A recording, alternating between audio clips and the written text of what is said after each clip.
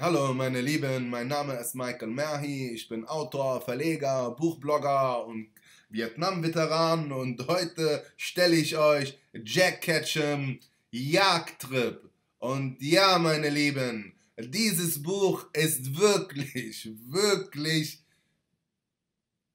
miserabel, will ich mal sagen. Nicht mal scheiße, weil scheiße riecht ja. Und das hier ist einfach miserabel. Ich konnte es nicht glauben.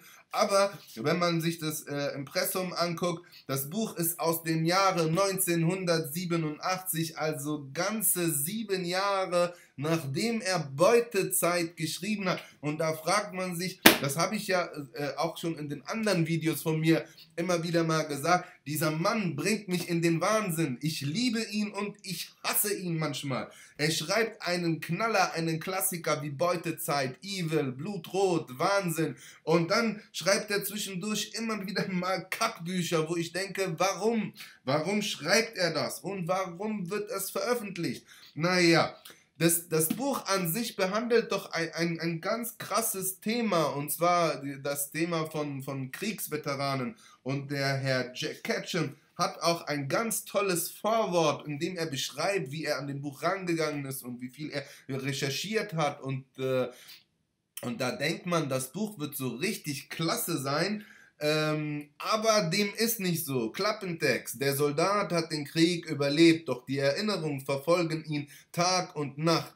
Er meidet seine Mitmenschen. Er weiß, dass er für sie zur Gefahr werden kann. Eine Gruppe von Campern packt ihre Sachen für ein Wochenende in den Wäldern. Angelausrüstung, Kameras, Schwimmsachen, Gewehre. Vielleicht haben sie Glück und stoßen auf Wild.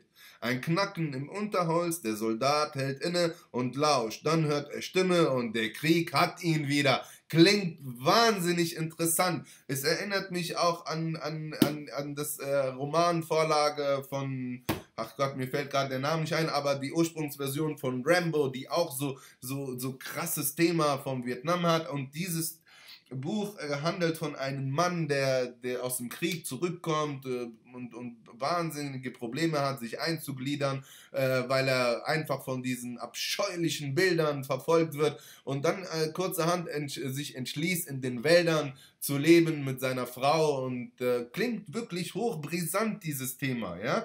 Und dann auch einer meiner Lieblingsstellen aus dem Buch und leider ist es aber nur auf Seite 25, weil danach wird dieses Buch nie wieder so gut. Äh, ich lese mal kurz ohne freundliche Genehmigung des äh, Hardcore Heine Verlages.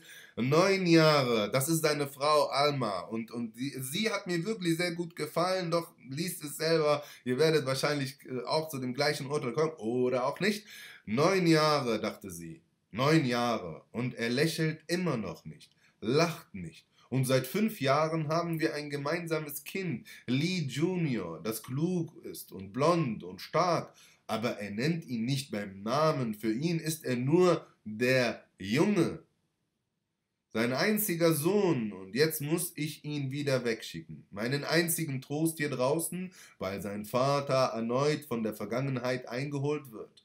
Ich spüre, wie er auf dem Hochseil balanciert, wie Wut und Frustration sich in ihm aufstauen und seinem ständig stärker werdenden Verfolgungswahn, der es ihm immer schwerer macht, lieb zu uns zu sein. Und ich weiß, dass er einen wehtun kann, einem hier draußen sehr wehtun kann. Und jetzt kommt noch eins, noch ein Kind. In sieben Monaten ist es soweit. Ich wollte ein Mädchen. Was, wenn er es wüsste? Würde er sich freuen? Ich glaube nicht. Er kann das gar nicht, sich freuen. Es wäre nur etwas Neues, was ihm Angst einjagt. Wieder eine Chance für die Welt, ihn hier in seinem Versteck in der Wildnis aufzuspüren und zu verletzen. Ein weiterer Grund, warum man ihn von hier verschleppen könnte. Also weiß er es nicht. So schön geschrieben, so psychologisch, so tiefsinnig, äh, ja. Und dann verliert sich dieses Buch in Banalitäten und der läuft durch den Wald und versteckt sich im Wald und, und dann diese Camper, äh, die wirklich äh, versucht zwar in denen ein, ein, ein Tiefe zu geben, aber der, das prallt wie Teflon ab. Die scheiß Charaktere gehen einem auf den Sack vorbei und, und der Lee irgendwann mal so nach 50 Seiten interessiert einem auch nicht mehr. Es wird, es wird immer banaler. Äh, die, die, die ach, es ist weder Horror, es ist weder Thriller, ich weiß nicht, was es ist, also dann reicht auch wirklich die Bezeichnung Roman darauf, weil man nicht weiß, wohin man dieses Buch einordnen soll. Das Ende, wirklich der allerletzte Satz, den kann ich leider nicht rauslesen, weil das dann doch zu viel des guten Spoiler-Manieren sind, äh, ist geil, aber das dazwischen, weiß ich nicht, äh, sagen wir mal 341 Seiten hat das Buch, nehmen wir mal die Einleitung von 10, 20 Seiten äh, und dann äh, die ersten zwei Kapitel, sagen wir mal 250 Seiten sind für den Arsch.